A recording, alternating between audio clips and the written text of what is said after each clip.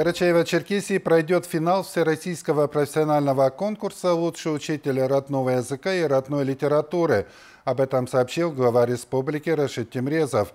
В год педагога и наставника с 18 по 24 сентября финал конкурса «Лучший учитель родного языка и родной литературы» пройдет на базе гимназии номер 19 «Черкеска».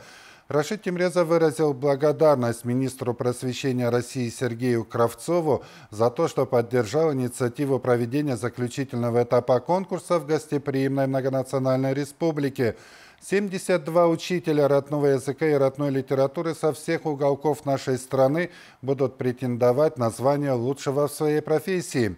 Родной язык бесценен для каждого из нас, и сберечь его – важная задача. Именно поэтому основной целью конкурса является поддержка учителей родного языка и родной литературы, распространение передового опыта преподавания этих предметов.